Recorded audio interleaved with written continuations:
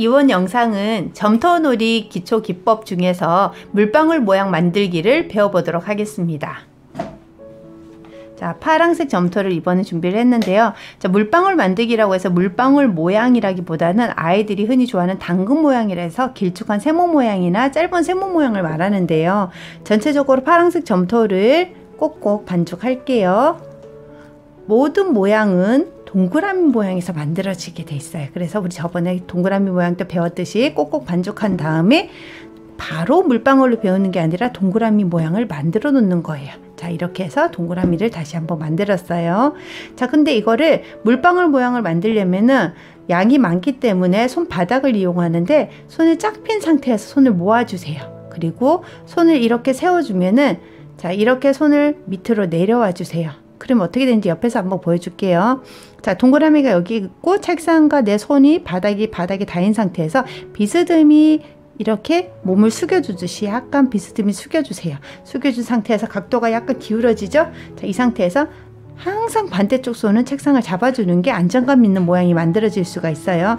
살짝 살짝 한쪽 면을 아래쪽에 힘을 주어주면서 밀어주세요. 그러면 자, 이렇게 물방울 모양이 만들어지는 거예요. 근데 이 물방울도 지금은 이렇게 짧고 짧고 예쁜 모양이 됐지만 이거를 계속해서 비벼질 경우에는 물방울의 모양이 점점점 길어져서 우리 친구들이 말하는 당근 모양이라고도 하기도 하죠. 이 당근 모양이 되기도 해요. 자, 이 모양들이 많이 모여져서 여러 가지 모양으로 변형이 될 수가 있는데 이 방법을 한번 다시 한번 해보도록 할게요. 지금 이렇게 양이 많은 모양 양이 많은 걸로 만들었지만 자 이걸 또 한번 나눠 볼게요 자 꼭꼭 반죽해서 자 큰 양을 할 때는 좀 전에 배운 방법으로 하면 되지만 양이 작은 경우에는 우리 지난 시간에 동그라미 할 때 똑같습니다 이렇게 네 개의 모양을 뜯어 주세요 그런 다음에 물방울 모양도 마찬가지예요. 동그라미를 만들어주고 난 다음에 연습을 할 거예요. 항상 점토놀이에서 가장 중요한 거는 동그라미 모양이에요. 이 모양이 만들어지지 않은 상태에서 그 어떤 모양이 만들어지면 모양에 선이 생긴다든지 점토가 갈라진다든지 이런 여러 가지 현상들이 나타나기 때문에 항상 점토는 반죽하고 동그라미 모양을 만든 다음에 그 다음 단계 모양으로 바뀔 건데요. 자 이렇게 작은 동그라미를 만들었을 때는 좀 전보다는 양이 훨씬 내버려 저기 4개로 줄어들었기 때문에 양이 작아요. 이 상태에서 우리 친구들이 할 때는 우리 유아 친구들도 마찬가지 손을 편 상태에서 손을 이렇게 세워서 각도를 세운 상태에서 약간 비스듬하게 살짝 살짝 밀어주세요. 어? 이랬더니 이렇게 모양 물방울 모양이 되고 있어요. 자 그런데 이 모양을 다시 한번 더 길게 밀고 싶을 때는 좀 더 밀어주면 돼요. 자 그러면 이거를 우리는 물방울을 만들 때 좀 짧게도 만들고 길게도 만들어서 모양에 따라서 어, 선택 물건 모양이 달라질 수 있는데 사물의 모양이 달라질 수 있는데 자, 이 동그라미를 살짝만 한번 밀어볼게요. 살짝 살짝 살짝 비스듬히 끝에만 살짝 살짝 하면은 이렇게 짧은 모양의 물방울 모양이 돼요. 이거는 뒤집었을 경우에는 나중에 우리 친구들이 뭐 딸기 모양을 만든다든지 했을 때 아니면 짧은 당근을 만들 때 사용을 할 수 있는 모양이고요. 자, 다시 한 번만 할게요. 동그라미를 갖다 놓고 손을 편 상태에서 이 부분을 사용할 거예요. 새끼손가락 라인을 타고 온 이 손바닥 지면을 이용을 해서 세워준 상태에서 이렇게 밀면 안 되죠. 약간 비스듬하게 기울였을 때 점토가 손바닥에 닿을 거예요. 이렇게 손을 비스듬하게 해서 닿은 상태에서 살짝 살짝 밀어서 모양이 나오는 거예요. 지금 보, 세요 밀다가 멈췄을 경우 이 끝 모양이 뾰족하게 나오지 않았어요. 이럴 때는 눈으로 확인하고 난 다음에 더 밀어주고 다시 한번 더 밀어주면 점점점 밀어주면 자, 전체적인 모양이 평평한 일자 모양이 되는 게 아니라 이렇게 당근 모양이 되는 거예요. 길쭉하게 모양이 만들어지죠? 자, 이렇게도 변형이 될 수도 있어요. 다시 한번 양이 있으면 손을 세운 상태에서 이렇게 동그라미 앞에 가고요. 자, 비스듬하게 숙인 상태에서 살짝 어? 안 됐네? 살짝 살짝 살짝 살짝 밀어주듯이 하면서 모양을 만들어 주는 겁니다. 자 이렇게 길이에 따라서 모든 모양이 달라질 수 있어요. 그런데 이것도 마찬가지.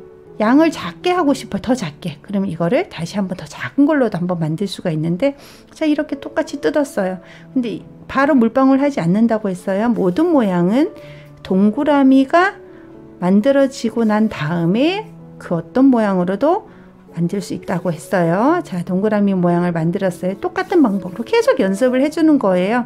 자, 이 동그라미 모양을 만든 다음에, 어, 이렇게 하려고 하니까, 뭐에 동그라미 양이 너무 작아요. 이럴 때는 손바닥을 사용하는 게 아니라, 지난 시간에 동그라미하고 똑같죠? 손가락으로 사용을 해도 돼요. 손가락으로 끝부분만 살짝 살짝 밀어줘도 이렇게 물방울 모양이 만들어지기도 해요. 자, 근데 우리 친구들이 너무 작은 친구들은 손이 작은 경우에는 이렇게 해도 사실 모양은 나와요. 모양이 다 다르고요.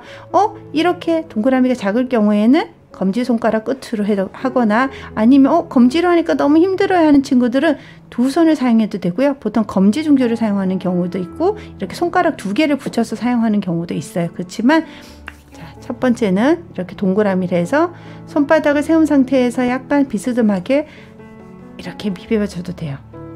근데 양이 너무 작은 경우도 이거를 가지고 다시 작게 만들어 볼게요. 자, 이렇게 작아요. 자, 이렇게 작은 동그라미가 만들어졌을 때는 이렇게 작을 때는 손바닥 하기에는 너무 전체적인 모양을 볼 수가 없기 때문에 이럴 때는 손가락 끝으로 살짝 자, 전체가 보여지죠? 더 길게 하고 싶어요 하면은 좀 더 밀어주면은 앞쪽은 통통하면서 끝으로 갈수록 뾰족한 모양이 만들어지거든요. 이렇게 다시 손끝으로 이렇게 살짝만 밀어주면서 모양을 만들어주는 거예요. 다시 한번 이렇게 짧게. 자, 이런 모양들이 나중에 뭐 만나게 되면은 자, 이렇게 하면 리본 모양이 될 수도 있고 이렇게 세우면 당근 모양이 될 수 있고 두 개가 합쳐지면 하트 모양도 될 수 있고 이렇게 길쭉한 모양의 모양들이 당근 모양만 되는 게 아니라 이렇게 숙였을 때는 물고기의 꼬리 모양도 만들어질 수가 있고요. 여러 가지 모양들이 변형이 돼서 어떤 모양을 표현하는 데 있어서는 무척 도움이 되는 기법이에요. 그래서 이 물방울 뭐 만들기 같은 경우에는 여러 번 반복해서 계속 연습을 하면서 이 방법을 배워보도록 하는 게 좋겠습니다.